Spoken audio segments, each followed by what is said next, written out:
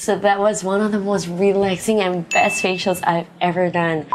Hi, I'm Rachel. I'm 27 years old and I'm a content creator. So I just did the VISIA skin analysis and I was told that I have sensitive skin. So I've always known that because I have eczema prone skin, I kind of get flare ups sometimes and also because I have dogs at home, my skin definitely reacts to that. So my skin is sensitive, but also because of that, it causes my skin to be pretty dry and dehydrated because my skin barrier is not the best. So I'm at Caring Skin at Bedok and today we'll be doing the Rosa C treatment which targets skin that's prone to sensitivity and redness.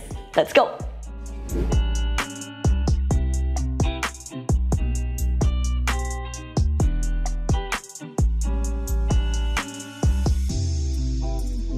So that was one of the most relaxing and best facials I've ever done.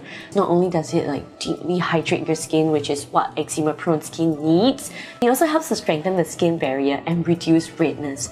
During the treatment itself, oh, it was so comfortable. I think I really liked the massage, that's for sure. I tried to stay awake, but I fell asleep. and the mask, oh my god, it was so cold.